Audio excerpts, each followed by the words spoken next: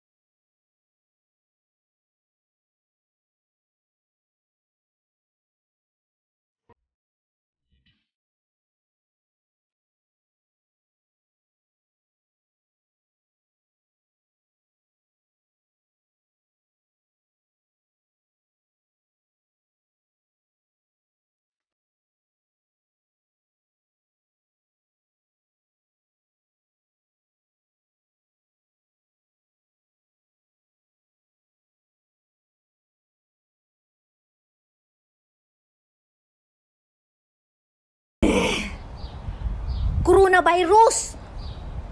Pahawa na ko, no? Akong amo din to. Sige, nagpanugo! Limpyo diri. Limpyo dito.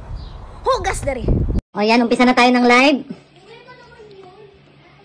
Magtitinda na tayo. Nagkamag-abangan muna ako ng viewers. Hoy, wala maingay! Magtitinda ako! O, ayan mga madam ha. Live selling tayo ha. Mine lang sa may gusto. Pag ayaw, wag nang manood ha. Ayoko mapagod dito. Kaya nagtitinda ako dito. Hindi ako nag-shoutout, shoutout ha. Ah, mga paninda ko. Una, first items. First item, wag magta-type-type agad. Wala kayong first items, wag muna mag-type. Hindi nyo pa nakita yung ibibenta. Type kayo, type, kayo agad ng type. O, first items. Saging na piling. Saba. 1, 2, 3, 4, 5, 6, 7, 8, 9, 10, 11, 12, 13, 14, 15, 16, 17, 18 na piraso na saba. Hindi isang dosena, 18 piraso. O, mahin sa may gusto ha? Pag hindi magbili, wag, hindi ako nagsasayang ng laway dito. Nagtitinda ako ha? Pag hindi bibili, wag na manood, wag na mag-type-type. Mga bugas buyer pa naman kayo. Sinong huling nag-I love you?